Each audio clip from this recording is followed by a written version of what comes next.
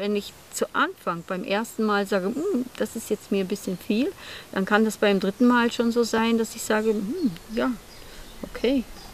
Oder äh, die Menschen sind unterschiedlich im äh, Kurs auch. Der eine sagt, "Hm, das ist jetzt total bitter und der andere sagt, ist gar nicht bitter. Für mich ist es jetzt nicht bitter. So, und für jeden ist das auch dann anders. Und ähm, es ist schon gut, sich an dieses Bittere auch zu gewöhnen, weil ähm, das ist ja das, was den Körper auch entgiftet. Und die Bitterstoffe m, geben einen Reiz zum Gehirn, dann geht der Reiz zum Magen, es wird mit Magensäure produziert und besser verdaut.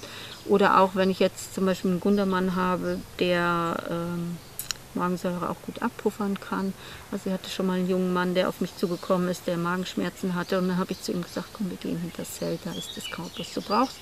Und nimm das und sag mir morgen, wie es dir damit geht. Und dann kam er wieder und sagte, es ist besser. So, und diese starke Heilwirkung darin hat mich einfach auch fasziniert. Ich kann also eine Heilnahrung herstellen für mich aus der Natur, ähm, so wie ich sie in der reinsten Form nirgends im Laden kaufen kann. Die Wildpflanzen haben allein nur von den Mineralstoffen her und von den Vitaminen das x-fache mehr als das Kulturgemüse. Und äh, mir ist aber auch noch wichtig, den, ich bin ja auch ausgebildete Geomantin, Geo ist ja die